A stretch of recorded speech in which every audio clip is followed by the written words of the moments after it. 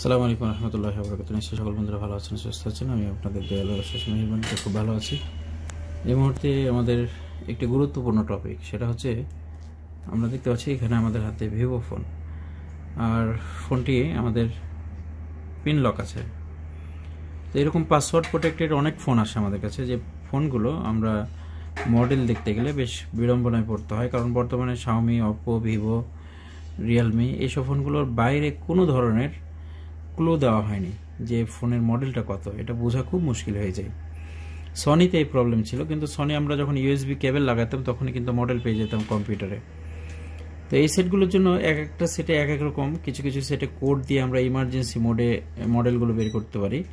ভিভোর একটা ভালো পদ্ধতি আছে, যেটা দিয়ে আমরা মডেলটা বের করতে পারব।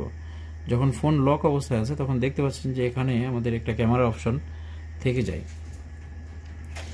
এই ক্যামেরা অপশনটাকে আমরা উপরে যদি সোয়াইপ করি সোয়াইপ করলে আমাদের ক্যামেরাটা ওপেন হবে। ক্যামেরা ওপেন করলেই আমরা ফার্স্ট টাইম করব কি, এখান থেকে একটা পিকচার নিব। এবং পিকচারটা তুললাম, তোলার পরে কিন্তু আমাদের গ্যালারিতে এটা ইন করতে পারব এবং আমার লক অবস্থায় যে ফোনটা যে ফটোটা তোলা হয়েছে, সেটাই সে এখানে শো করবে। যে এখানে আমরা দেখতে পাচ্ছি ওয়ান বাই ওয়ান এবং এই গ্যালারিতে আগের থাকা কোনো কন্টেন্ট এখানে শো করবে না। এখান থেকে আমাদের এই পিকচারের ডিটেলস পাওয়া যায় প্রত্যেকটা ফোনের এই ডিটেলসটা আমরা দেখতে পাচ্ছি যে উপরে আমাদের আই বাটন আছে একটা। আই বাটনে ক্লিক দিলে দেখতে পাচ্ছেন যে ফাইল নেম আছে এবং টাইম কখন তোলা হয়েছে ছবি ইন টোটাল ডকুমেন্টটা এখানে আছে এবং মোর ডিটেলসে আমরা এখানে পেয়ে যাব মেকার ভিভো এবং মডেল হচ্ছে ভিভো সতেরো ছাব্বিশ।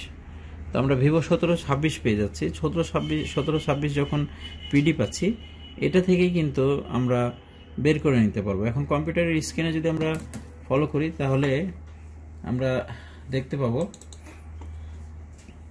এখানে গুগল আছে। গুগলে আসার পরে আপনি লিখে দেন ভিভো সতেরো ছাব্বিশ। এরপরে সার্চ করি।